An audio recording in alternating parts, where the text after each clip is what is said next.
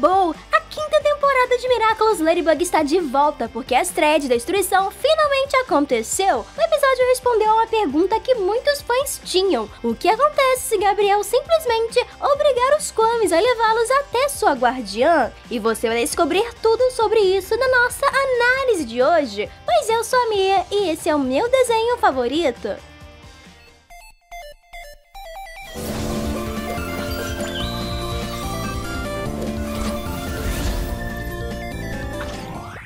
Tudo começa no quarto de Marinette. Alia foi passar a noite com a amiga e está tentando distrair um pouco a guardiã, que só consegue pensar nos miraculos roubados, o que claramente não dá certo porque ela é muito paranoica. Enquanto isso, no borboletário, Gabriel está furioso e determinado a acabar com a Ladybug. Ele procura no livro de feitiços alguma forma de fazer isso o mais rápido possível. O vilão conclui que Oricó é capaz de conceder qualquer poder de sua escolha e ordena que o galo lhe conceda o poder de viajar no tempo. Mas os Kwamis explicam que a habilidade de Oricó não é tão ilimitada quanto parece. Ele não pode copiar os poderes de outros Kwamis, nem fornecer poderes que prejudiquem sua magia. Para tentar contornar o problema, Gabriel ordena aos bichinhos que revelem a identidade secreta da guardiã. Porém, ela está protegida sob um feitiço que impede que os Kwamis revelem a identidade secreta de seu portador. Afinal, ela não renunciou a nenhuma das joias mágicas, elas foram roubadas. Então Gabriel obriga os Kwamis que o levem até a casa da Ladybug. Zig diz que é só seguir o cheiro dos croissants e Gabriel faz uma fusão com quatro Miraculos: o da tartaruga, abelha, borboleta e, claro, o do cavalo. De volta à casa dos Dupancheng, Tom laça pães fora de hora para deixar os parisienses mais felizes, numa tentativa de ajudar a reduzir a quantidade de acumatizações. Quando o monarca abre um portal diretamente para o quarto de Marinette e pega a garota desprevenida. O vilão pergunta para Zig se ela tem certeza de que estão no lugar certo, e a cabra responde que sim, revelando que agora ele deveria pedir o presente da padeira. O monarca pergunta para Marinette se ela sabe do que os comes estão falando, e ela confirma, entregando o chaveiro pro vilão depois de quase levar uma ferroada dele. O tio das brabuletas perde a paciência e exige explicações. Ele não pediu uma chave, então os comes explicam que a Ladybug é muito cuidadosa e nunca deixou que soubessem seu endereço, mas só por garantia, montou uma caça ao tesouro pro caso de algum deles se perder, assim poderiam encontrar o caminho de volta para casa. Marinette tenta ajudar as criaturinhas e explica que a Ladybug entregou aquele chaveiro para ela quando se tornou a Monty Mouse, que ele deveria ser entregue ao Kwame Mulo caso a guardiã não conseguisse buscar o Miraculous, e era só isso que ela sabia.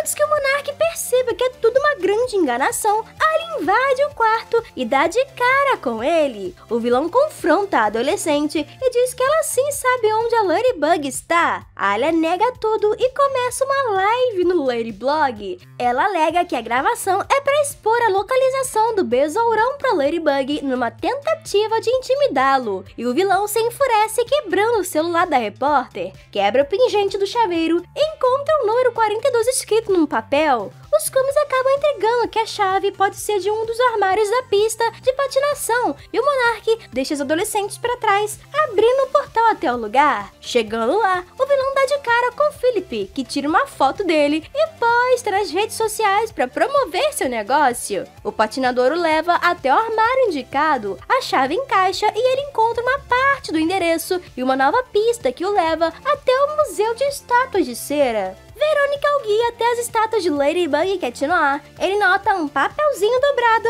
no guiso do gatinho e quando lê o bilhete está escrito bobalhão. Nesse exato momento, o herói para de fingir que é uma estátua e ativa o cataclismo. Ladybug invoca o talismã, que é exatamente o que ela precisava, uma mangueira para prender o monarca, e Verônica ajuda os heróis fechando todas as portas da sala para que ele não consiga escapar. Os Kwamis podem finalmente dar um abraço na guardiã e ficam aliviados por achar que a escravidão acabou. Ladybug revela que seu endereço estava realmente lá, porém ela conseguiu chegar a tempo de substituir o bilhete e montar essa armadilha, graças à postagem do Philip, e antes que ele pense em fugir usando os poderes de um Miraculous, os heróis ameaçam usar o cataclismo nele, mas como Natalie já disse antes, ele está completamente louco, então Monark se auto-cataclisma puxando a mão do gatinho pro seu braço e foge usando mais uma vez os poderes de Kalk para abrir um portal para longe dali antes que Ladybug consiga recuperar cada um dos Miraculous e descubra sua identidade secreta, deixando os Kwamis arrependidos de comemorar a vitória cedo demais e os próprios heróis muito chocados com o que acabou de acontecer. E como o vilão fugiu com o talismã, a heroína não pode invocar as joaninhas mágicas para desfazer os danos do cataclismo. De volta ao quarto de Marinette, Alia ouve a amiga desabafar sobre o que acabou de acontecer, mas sua curiosidade não podia esperar mais. Ela precisa saber que o plano maluco de distração foi esse que deu tão certo. Marinette então começa a explicar para Best com detalhes o que ela planejou para o caso de o vilão conseguir capturar algum Kwami e decidir usar o feitiço dos Miraculous que obriga a criatura mágica a fazer tudo o que seu portador deseja. O primeiro passo foi criar uma espécie de alerta para que ela e o Cat Noir soubessem que o Monark estava procurando por ela. Então a Icebug vai até a pista de patinação, ajuda Philip a promover seu negócio, deixando que ele tire uma foto com ela e aproveita para incentivá-lo a postar fotos com absolutamente qualquer pessoa que passar por lá. Assim, os heróis colocariam um alerta de notificação e saberiam quando o vilão caísse na armadilha. A heroína explica uma parte do plano pro parceiro e dá a ele o papelzinho que nunca teve a outra parte de seu endereço escrita. Sempre foi bobalhão. Ela pede pro gatinho usar sempre em seu guizo, pois um dia faria sentido. Marinette explica pra Alia que os Kwamis nunca souberam que é o endereço, por isso jamais saberiam informar qual é o dela. Porém, ela treinou com os bichinhos bem antes cada resposta que eles deveriam dar pro vilão, de acordo com as perguntas que ele poderia fazer. Uma forma dos Kwamis enganarem o Monark, apesar de serem obrigados a dizer sempre a verdade. Marinette acredita que seu plano fracassou, mas Alia fica muito impressionada com o plano que a amiga bolou para manter sua identidade secreta a salvo. Enquanto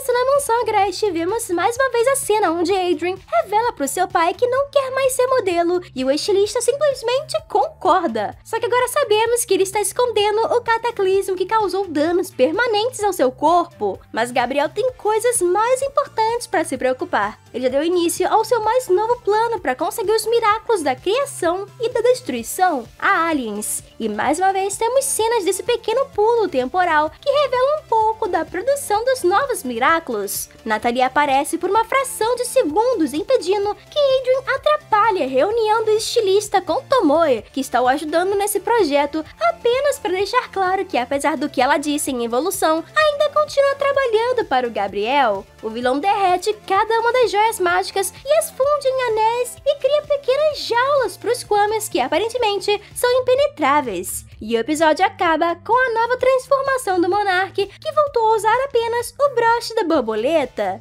Mas me conta aí nos comentários tudo o que você achou desse episódio e já deixa aquele like se está ansioso para o próximo. Se inscreva no canal se ainda não for inscrito. Obrigada por assistirem até aqui e hasta la vista!